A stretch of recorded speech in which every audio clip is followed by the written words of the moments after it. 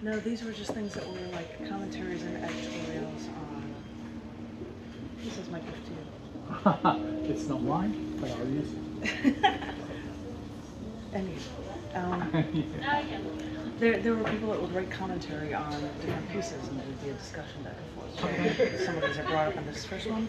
I have no idea what the commentary was about, but this is called I Want Love. I'm laying here in bed and I'm looking over him.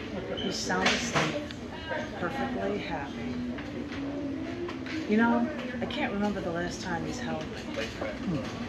He has no idea what I'm thinking. He's perfectly content this way. I decided to spend the rest of my life with him. He's my best friend, but I don't know if he loves me. And I want love. Well, yeah. Strong stuff. There are two micro proses next, and this first one is called Dandelions for a Passing Stranger. Okay. Why would you, why would you pick the dandelion for yourself? So sunflower, I like it. Oh, there weren't sunflowers in this part of the world at this time for this three-year-old in their yard. Allow me to read. Oh, I will. I loved my silly red tricycle, the type that every suburban three-year-old probably had. I would play on my driveway, riding past the evergreens, past the white mailbox, but I'd usually turn around before I rode past the gravel and onto the neighbor's driveway and ride back to the security of my own garage. I would sometimes play with the neighbor's drive in the neighbor's driveway since it was on a hill. I would ride atop of their by their maroon-colored garage, navigate my trusted bicycle around uh, in, by the rusted handle, hang onto the, hop onto the seat, and then just zoom downhill. But those times were only when I thought no one was at home at their house, and for when I was feeling particularly adventurous. Yeah. Once I was riding up and down my own driveway and I saw another little girl walking on the neighbor's yard. I watched her approach my driveway, walk on the edge of my lawn. I was fascinated by this girl. She was new. She was had a new face to look at. She was a girl with long blonde hair, so different from my own.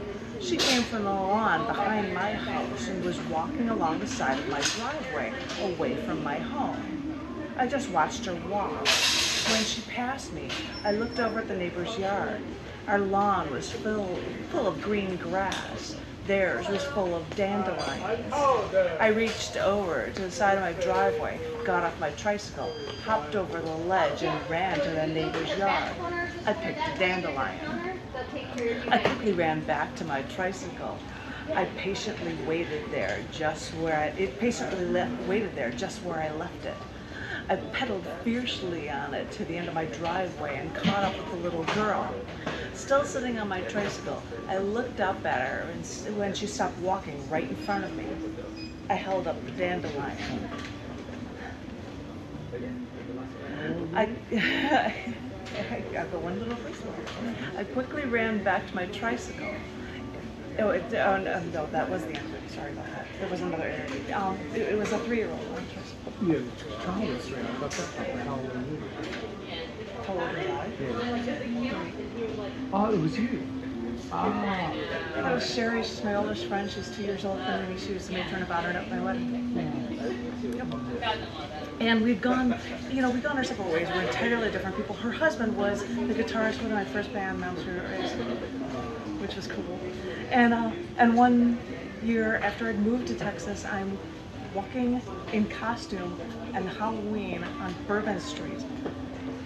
And Sherry runs out to me. I'm like, what? Hi. Just- she was there for somebody else's bachelorette party and we stumbled into each other. so Ryan, so yeah, amazing. Yeah. Like, you've never been here before, have you? Anyway. Um, on to other things. This is the other piece of prose. are you, is this uh, some part? This is community poetry, which happens on the first Wednesday of every month from 1 till Okay. 3 in the afternoon. And anybody is welcome to come up and share poetry or listen because we love it. If you listen and read, then Just a, looking, pardon me? I'm quiet. Ah, probably But there's music. You can't escape that. this, this one is called Scars. What? That's where you need to. Okay. Right. Yeah. No, it infiltrates. The senses are overwhelmed. Overwhelmed. This is Scars. Like when the Grossman's German Shepherd bit the inside of my leg. I was babysitting two little girls and a dog named Roscoe. I remember being pushed to the floor by the dog. I was on my back, kicking at the dog. It was gnawing on my leg. And I remember thinking, I can't believe a dog named Roscoe is attacking me. And I was thinking that I had to be strong for these two little girls who were watching it all. I couldn't cry. Or when I stepped off Scott's motorcycle at 2 a.m. and it burned the calf on it burned my calf on the exhaust pipe. I was drunk and he was driving and I was careless when I swung my leg over the back. It didn't even hurt when I did it, but the next day it blistered and peeled. It looked inhuman. I had to bandage it for weeks. It hurt like you wouldn't believe. Or when I was little, roller skating in my driveway and I fell. My parents yelled at me. Did you crack the sidewalk? That's not the point. That's what you say to make somebody not cry. Did you crack the sidewalk? Yeah. Or when I was kicking someone and scraped my left knee against the wall. Or maybe it was the carpet. When somebody asked me where that scar came from, I tell them I fell. Mm. Or when I was riding my bicycle and I fell when my front wheel skidded on the gravel. I had to walk home. Blood was dripping down my elbow to my wrist. I remember thinking that the blood looked thick, but that nothing hurt. I sat on a toilet seat cover while my sister cleaned me up.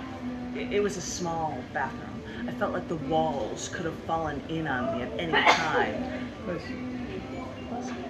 Years later, I can still see the dirt under my skin on my elbows.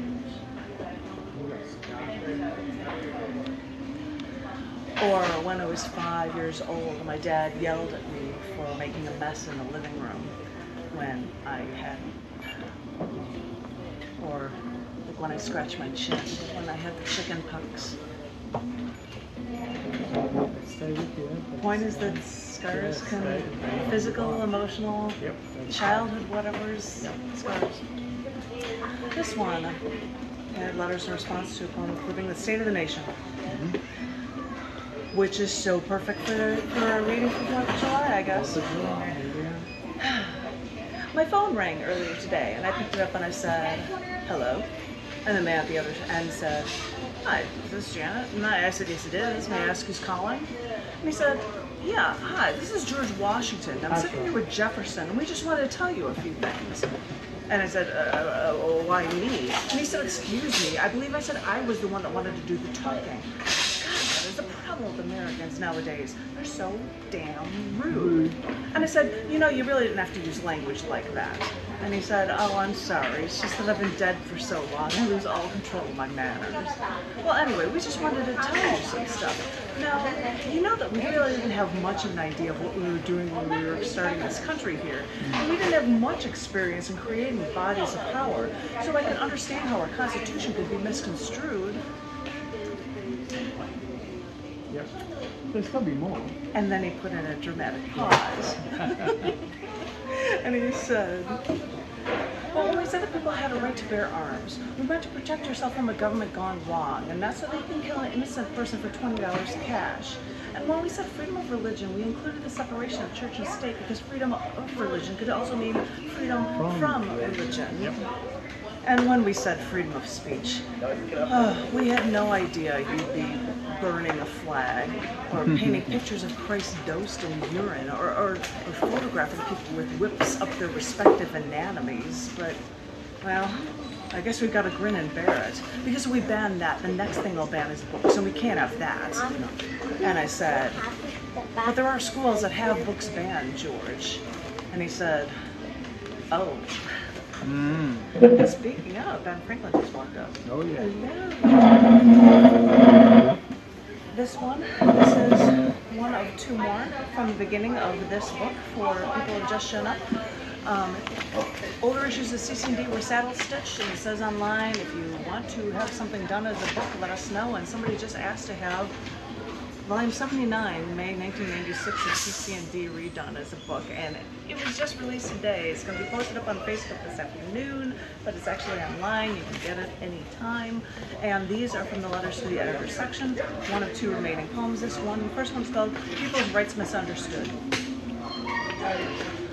I had a dream the other night. I was walking down the street in the city, and a man came up to me, a skinny man. He, he lost his hair.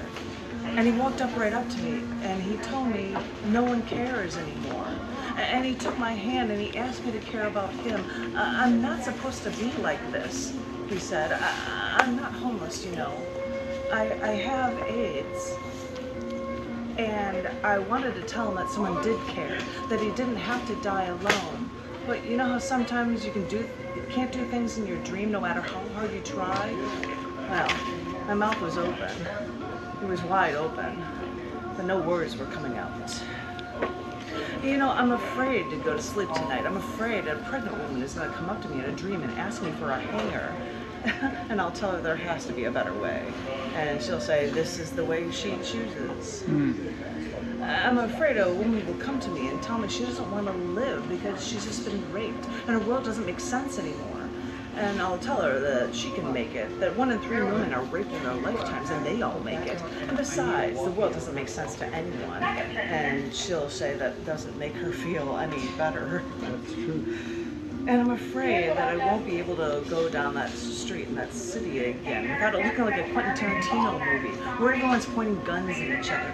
Yes, Mr. NRA, you are so right. I feel so much safer knowing everyone has a gun and that there are more gun shops than gas stations and that everyone is so willing to do the killing. And I hate to say this after I read this, I love Quentin Tarantino movies. You do? Oh, I do! It's so violent. I know, but I like them. But that's just me. Because we all like to appreciate violence. I don't. Well, you're the weirdo. Yeah. No, Don't you you and my sister. You're the weirdos. You have another It's. It looks like. A, I think the battery. I think the thing in the battery was broken, um, or on the card. Yeah, I've seen it. And this is the last one, and it's a very political statementy piece. And it's called "The Carpet Factory." The shoes. Okay. I heard a story today about a little boy, one of many who was enslaved by his country in child Track, labor. ready, track. One of many who was enslaved in this country by child labor. Cruelty. That's what it is. It's cruelty. I had to do it. I had to do it. Deborah, we have your offer ready and fire in. Deborah, your offer is ready. Okay. It was the beginning, so I'm just gonna start this one from the beginning. I heard a story today about a little boy, one of many who was enslaved by his country in child labor. Right. In this case, he was working at a carpet factory. He managed to escape. He told a story to the world. He was a hero at 10. We got it figured out? Yeah, we did. But the people from the factory held a grudge. And today I heard that the little boy was shot and killed on the street. He was 12. And he complains to me when I buy shoes that are made in China. Huh? No, it doesn't work. And now I have to think, did somebody have to die for these? Mm. Will somebody have to die for these? Didn't look on the screen. They've got a weekend. Very good. Okay. All ready? Ready? Or- Yes. Oh, would Ben like to read? Yeah, would. Okay.